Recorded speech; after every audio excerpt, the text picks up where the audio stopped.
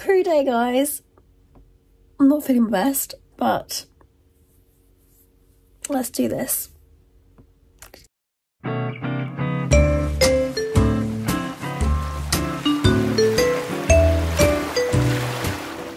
On this episode of Sailing Rum Punch, I take you on part one of my competent crew course, which I completed in September this year.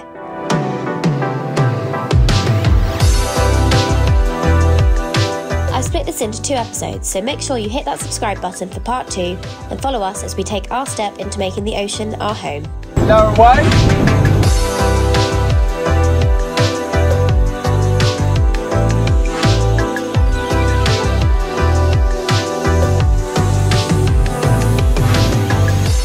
So I have arrived in Southampton, ready for my competent crew. Whoop, whoop.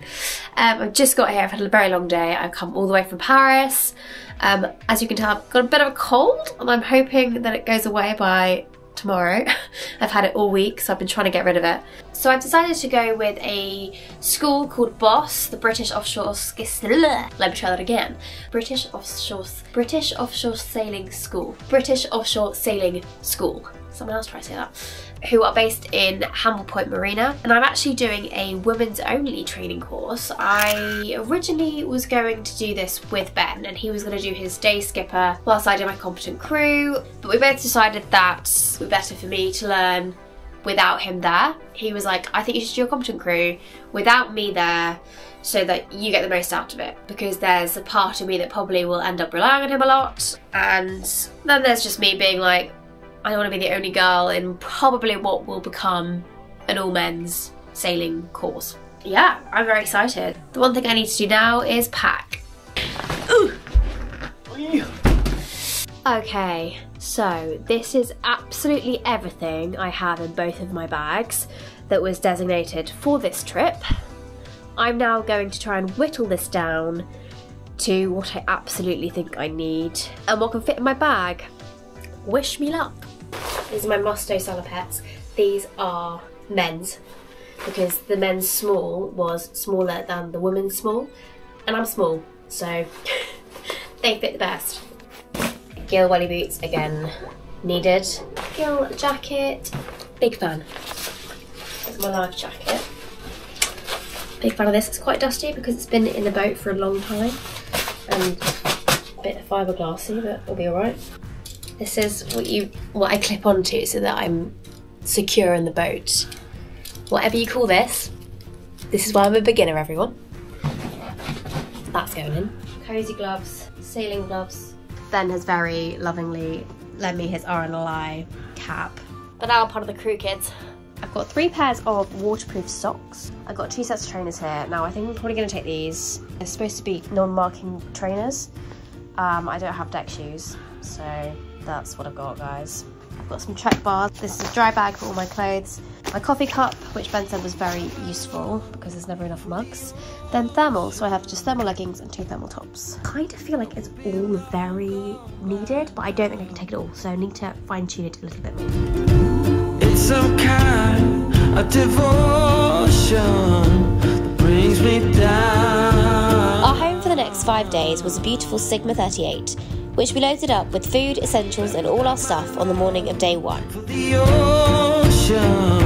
After a morning of talking through the course, we headed off for an afternoon sail en route for East Cowes on the Isle of Wight. No one. Sailing! One of our first lessons was learning to tack, so I'm handing over to our wonderful skipper Gary. That you're now both ready to tack. Okay, so you're ready port, ready starboard. I'm going to call helmet lead, which tells you we're moving. Right, gently through the wind. Leo. Hey.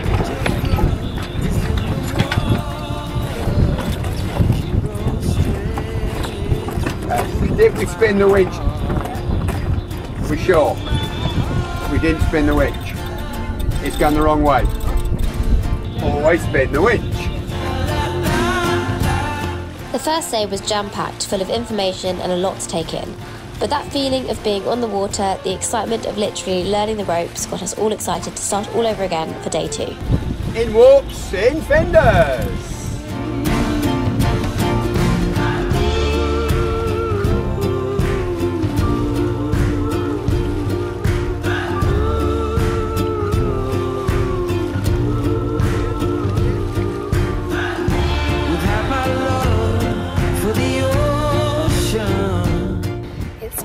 11 o'clock. Um, I'm just had a shower, I'm getting ready, and we're leaving at about 9 a.m. I'm on mother watch today, so I've got to go help Julia with some cooking and coffee for everyone. Let's go, day two. Today, in the middle of the North Sea there, where, where that cross is, is there any wind? No.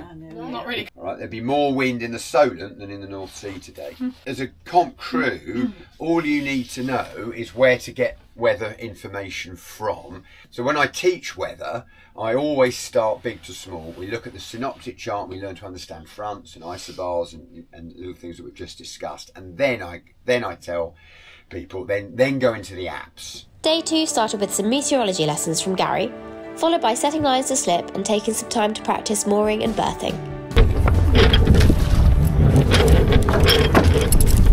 All gone for it! Sail it.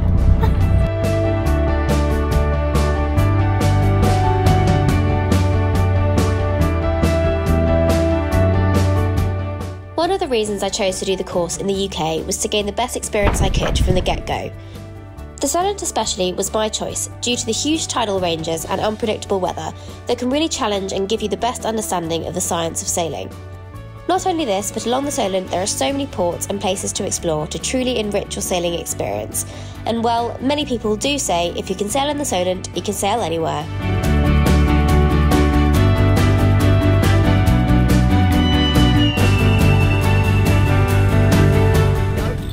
Today took us along the Beaulieu River into Bucklers Hard, where we fulfilled another part of our competent crew, learning to row a tender.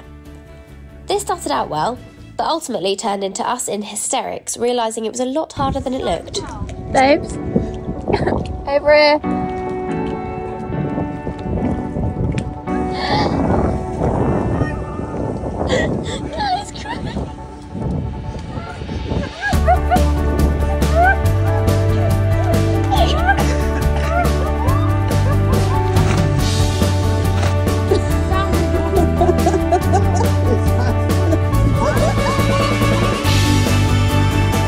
More to come, so click subscribe, hit the alert button, and don't miss part two.